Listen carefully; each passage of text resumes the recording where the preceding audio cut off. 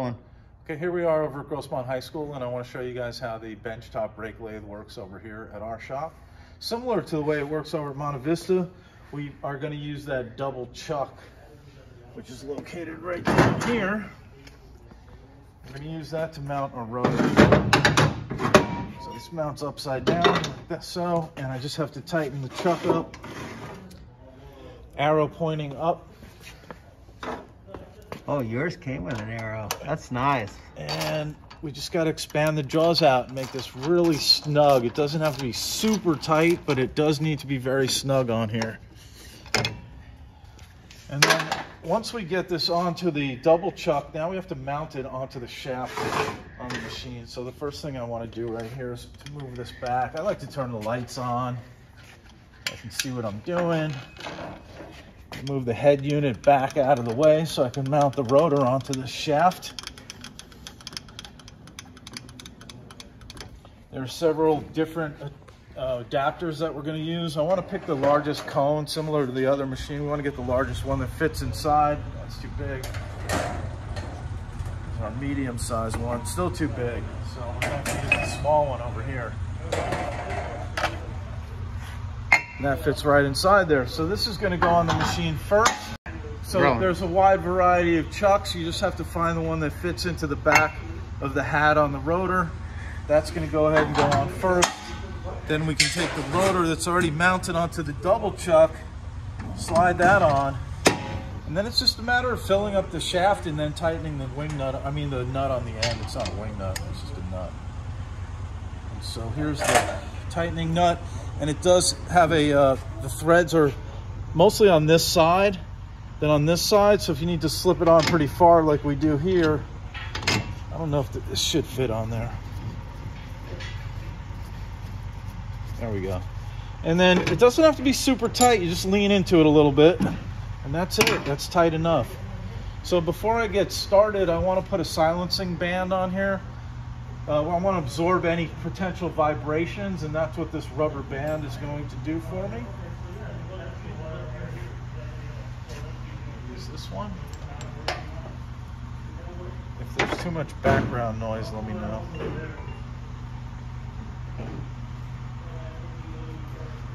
That just stretches over. That's going to absorb the vibrations that are created while we're cutting. Okay, once I get the silencing band on, the next thing I want to do is I want to center up the cutting head around the rotor. So the machine comes with the tools that we use on this. I'm going to go ahead and loosen this up. And then we can slide the head unit back and forth as necessary. I'm going to bring it right in so I can get it nice and centered up on here. And you can tap that around to get it centered. When you go to tighten things on here, it's just snug. Nothing has to be super tight on here. Just a little, lean your weight into a little bit and that's good enough. We can go ahead and start the machine up now. On button, get it rotating. So very similar to the other machine, I'm gonna bring the cutting tips into the surface, adjust them so they're just barely touching for a little scratch coat. A little scratch mark, I should say, not scratch coat. lock this down. And then we're gonna go ahead. Same thing on this side just get it to barely touch. We don't want to dig it in on here because the idea is to take off the very least amount that's necessary. So we just get it touched and locked down. And now we're gonna this machine starts in the center and works its way out. I'm gonna run this in manually all the way. And if you guys see there's a little rust ring on the inner edge right here. I want to make sure I take that off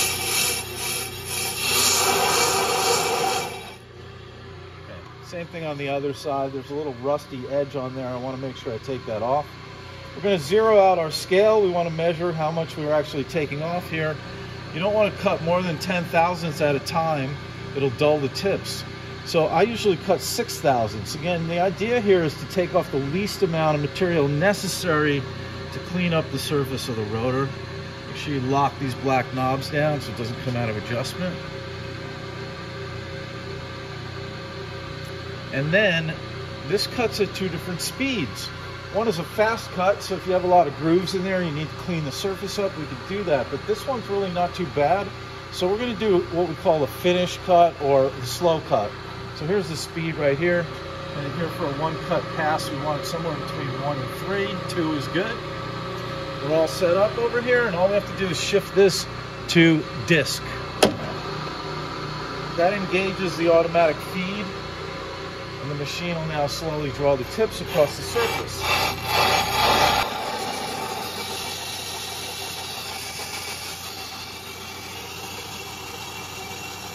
Okay, so the shavings that come off here, the EPA considers this hazardous waste. Actually, there's a lid on here while you're cutting. You can close the safety lid over the top, and that directs all the shavings down to a little funnel below, and then into this container. When this fills up, we have to send it into a recycling plant. Any, any kind of um, debris that we make here, it all has to go to be recycled. So I like to keep this open when I'm doing a demo, but normally if I was cutting a rotor and I'm gonna walk away from this machine, I close it down for safety. I want you guys to see what we're doing though.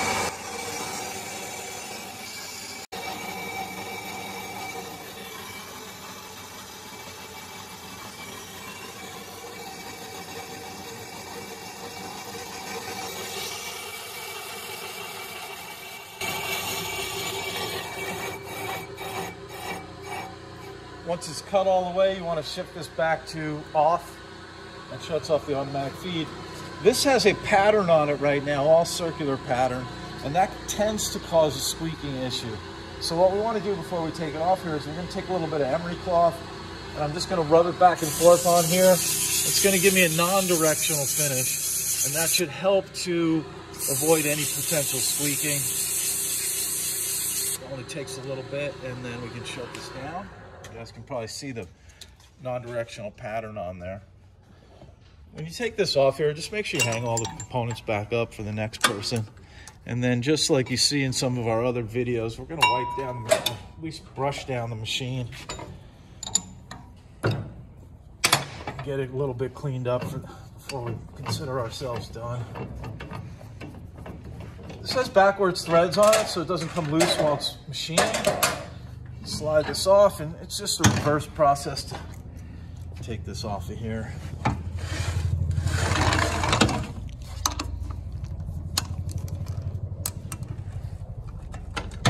Just loosen that a little bit. I don't like to put my hands on the rotor because you do have a little bit of oils on your fingers and I don't want to get those onto the rotor surface. I'm ready to go back on the car. Out of the way.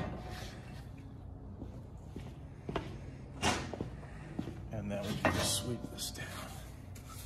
You know, actually, I can just sweep it all down into this area and it's going to get caught down below in that recycling bin.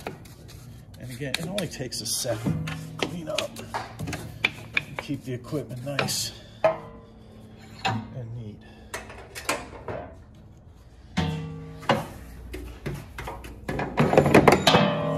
if you drop any tools down in there, you can retrieve them down below. That's it.